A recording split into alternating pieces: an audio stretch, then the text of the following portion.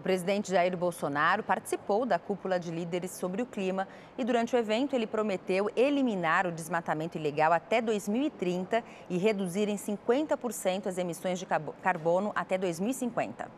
Jair Bolsonaro foi um dos 40 líderes mundiais que participaram do evento virtual organizado pelo presidente dos Estados Unidos, Joe Biden.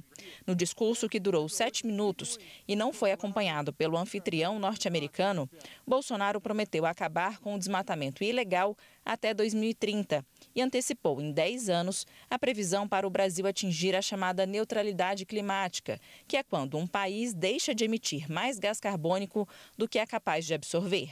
Nesse sentido, determinei que nossa neutralidade climática seja alcançada até 2050, antecipando em 10 anos a sinalização anterior.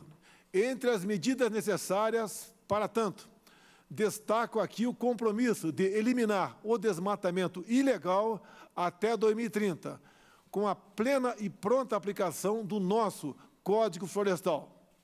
Com isso, reduziremos em quase 50% nossas emissões até essa data. Há que se reconhecer que será uma tarefa complexa.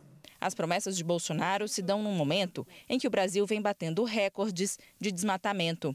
Ainda assim, o presidente garantiu que irá dobrar o orçamento destinado à preservação do meio ambiente. Apesar das limitações orçamentárias do governo, determinei o fortalecimento dos órgãos ambientais duplicando os recursos destinados às ações de fiscalização. A questão orçamentária é um dos desafios quando se fala em preservação do meio ambiente. Assim como outras áreas, órgãos de fiscalização ambiental vêm tendo os orçamentos reduzidos, o que prejudica operações de combate ao desmatamento, por exemplo. Diante deste cenário e da pressão internacional, o governo responde com cobranças para que outros países ajudem no financiamento da preservação dos biomas brasileiros, principalmente da Amazônia. O presidente afirmou ainda que é preciso ter justa remuneração pelos serviços prestados pelos biomas brasileiros ao mundo. Os mercados de carbono são cruciais como fonte de recurso e investimentos para impulsionar a ação climática, tanto na área florestal quanto em outros relevantes setores da economia, como indústria, geração de energia e manejo de resíduos. Da mesma forma, é preciso haver justa remuneração pelos serviços ambientais prestados por nossos biomas ao planeta, como forma de reconhecer o caráter econômico das atividades de conservação. O ministro do Meio Ambiente, Ricardo Salles, que vem sendo muito criticado por decisões que prejudicariam o combate ao desmatamento, passou todo o evento ao lado do presidente Bolsonaro.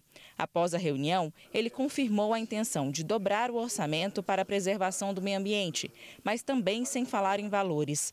Salles também reforçou a necessidade de financiamento internacional e disse que o Fundo da Amazônia pode ser retomado. O número preciso não é possível estabelecer agora, porque justamente nessa semana eh, se está definindo o orçamento junto ao Congresso Nacional.